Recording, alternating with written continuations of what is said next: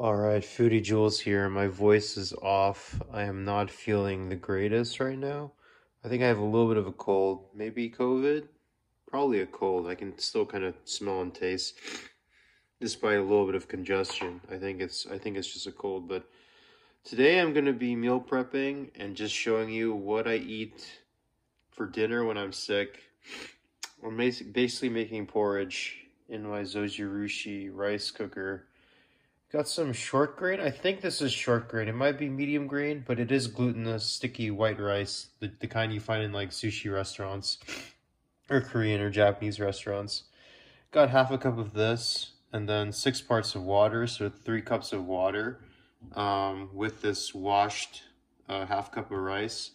I'm going to go ahead and add a little bit of this instant dashi, hondashi. You can get these in the Japanese grocery store, Asian supermarket very fishy. Uh, kind of looks like fish food. I'll put a little bit of that in. That might be a little bit too much. But yeah, basically, I'm going to cook this porridge.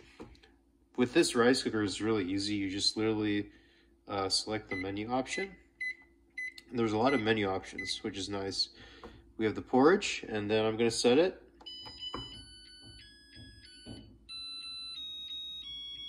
Makes a cute little jingle sound and we're gonna wait until this cooks.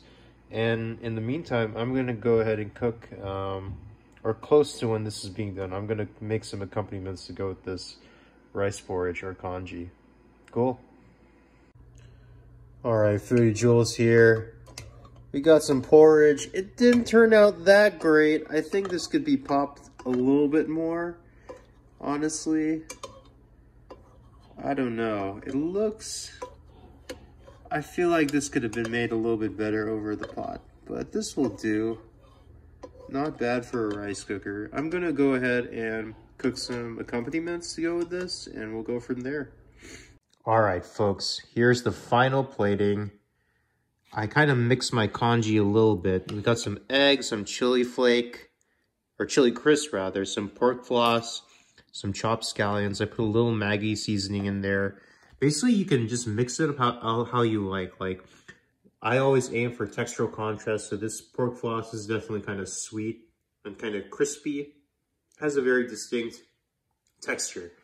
Um, kind of uh, kind of like thin, crispy strands. Not very crispy, um, but thin, delicate. Hard to describe. Crispy, but delicate strands.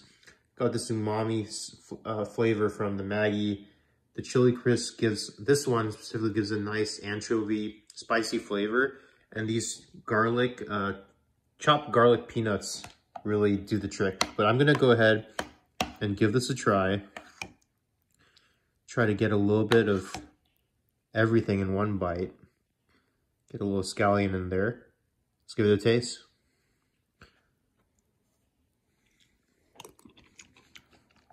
Overall, very good. Very comforting, very satisfying.